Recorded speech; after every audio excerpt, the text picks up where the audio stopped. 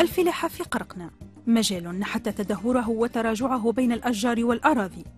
إلى درجة غياب وجوده في أذهان بعض المواطنين بقرقنة واعتبار هذه الجزيرة جزيرة الصيد البحري.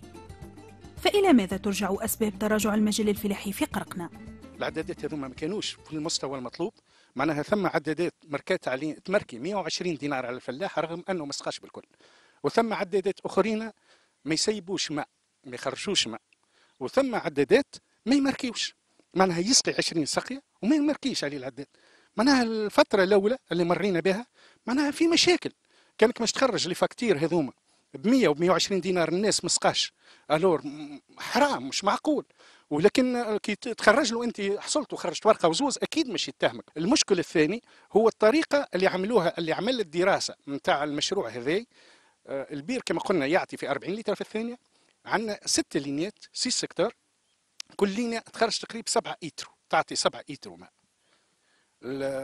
بالنسبة للسبعة إيترو وتعمل فيها 20 نقطة توزيع مانيش عارف أنا السبعة إيترو ماء كيفاش تنجم تسقي وعندك 20 نقطة توزيع. وكل نقطة تلقى فيها خمسة أو ستة أو في بعض الأحيان حتى ثمانية فلاح.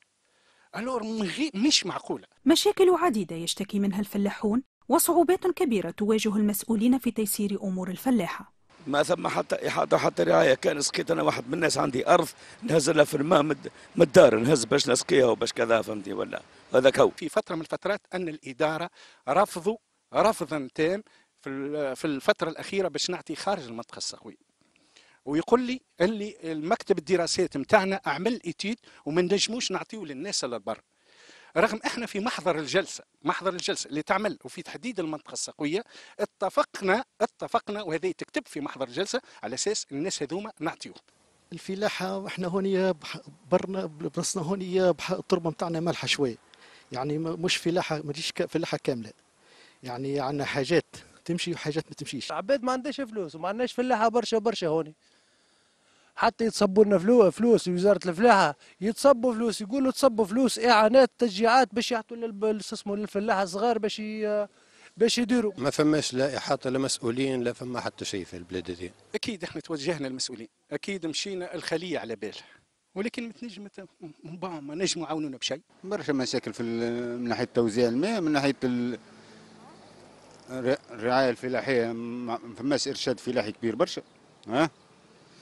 وثاني حاجة الإمكانيات متواضعة هوني راه. تاع الفلاحين هوني إمكانيات متواضعة. كي تتحدث مع الإدارة شو يقول لك؟ يلزم نسكروا على بورنيت على نقاط نتاع توزيع نسكر على معناها كل لينيا فيها آه، مثلا 20 بورنة يلزمني نسكر منها ما يقارب 13 آه، بورنة لأن ما ثماش نقطة التوزيع هذه اللي نسميوها إحنا البورنة يلزم على الأقل إيترا في الثانية باش الفلاح ينجم يسقيو منها. شوية عناية بالتجهيزات واحد وتمويلات من الدولة وتولي مطالب كثيرة افتقرت إلى التلبية وأصوات كتمت أنفاسها من كثرة المطالبة بتلبية حاجيات الفلاحين وتحسين قطاع الفلاحة وجعله قطاعا يوازي مجال الصيد البحري في جزيرة قرقنة. نطالبوا بإضافة بئر ثانية خاصة الأرض الصالحة للزراعة عندنا ما يقارب الألف هكتار. ونطالبوا أيضا إذا كان ثم إمكانية في تحلية مياه البحر فعلاش لا؟ خاصة الظروف اللي تمر بها الجزيرة في ضعف صيد البحري. على الأقل ما نقولوش إحنا الفلاحة البرية مش تكون هي البديل لكن تمشي بالتوازي وتعاون البحار لأنه البحار هو الفلاح. دار المجمع تعد من أهم الاقتراحات الفلاحية في جزيرة قرقنة لتحقيق جملة من الأهداف تعود بالنفع على الفلاح. الدورة هذه تسهل مأمورية الفلاح. آه، كي يجي يحب يسأل على المنطقة السقوية في عوض مش يمشي 6 7 كيلومتر يجي للبلاد. آه، عنده يحب ياخذ لامونيتر الادويه نتاع السجن يجي ياخذ من هوني. عندنا الدبو أو بنيناه جديد ينجم يعمل فيه كل شيء. نجم نسهلوا له المأمورية نتاعو. الفلاح اصبح عاجز. إلا أن دار المجمع اليوم باتت مغلقة وتعود الأسباب إلى العديد من الأمور. تو حضرت الإدارة هذه من 2009 وهم يمرثوا بنا كما يقولوا المندوبيه الجهوية هذه نتاع الفلاحه نمشوا له. هاي خويا سلموا لنا المفاتح أه تو نسلموا لكم تو نسلموا لكم. جاءوا أيامات باش يحبوا يشوفوها لقاو فما صعوبات من مواطن حب يعترض فيها. السيد هذا اللي اعترض فيها. كانوا عنده حق فيه مستعدين باش نعطيو حقه. كان آه، عنده ما يثبت اللي هي نتاعو مستعدين باش نعطيوه نتاعو. باهي. آه، المندوب مشيت اي خويا كيفاش نعملوا الحكاية؟ قال أنا باش نعمل مكتوب للديوان قيس الأراضي الدولية وتعطينا هي البريفي نتاعها معناها تعطيها هي. نقولوا إحنا باش تسلم له هذايا كدار المجامع تعطيه المندوب الفلاحي يسمى يسلم هذه نعم. ما فماش الخبر هذا لأن تراجع المجال الفلاحي في قرقنة إلا أن شجرة الزيتون فرضت وجودها ونمت ثمرتها وتكاثفت غاباتها لتنبثق فكرة بناء معصرة زيتون بجزيرة قرقنة فكيف كانت هذه الفكرة؟ كانت زيارة وزير الفلاحة 2008 القرقنة فرصة باش طرحنا فيها المسألة وكان شكون حاضر معاه من ديوان الزيت.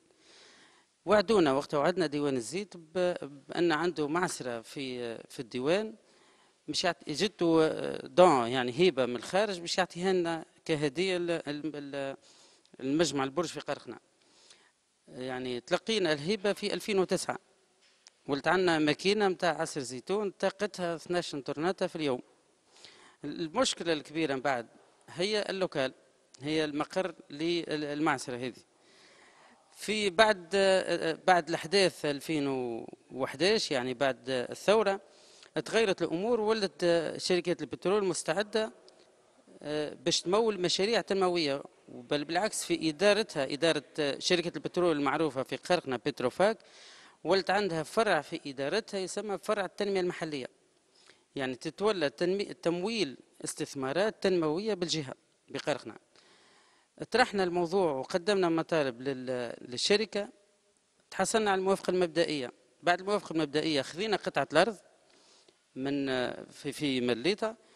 وبعد بدأت الأشغال بدأ التفكير في المشروع البلان تاعها بدأت الأشغال وتحصلنا على هيبة من من البتروفاك. هذا المشروع الذي اعتبر حلما للمواطنين. إنجازه ولد تحديا لإنعاش قطاع الفلاحة من موته السريري وتجنيب الفلاح كثرة التكاليف وأعباء التنقل إلى ولاية صفاقس وتوفير مواطن شغل. تقريبا من 2006 ل 2010 2011 المجمع قام بجلب غير أشجار الزيتين للفلاحة. يعني حاليا ولت عندنا غابة متاع زيتون في في مليتها فقط يعني الجزيرة الأولى من قرقنا قرابة 35 ألف عود زيتون.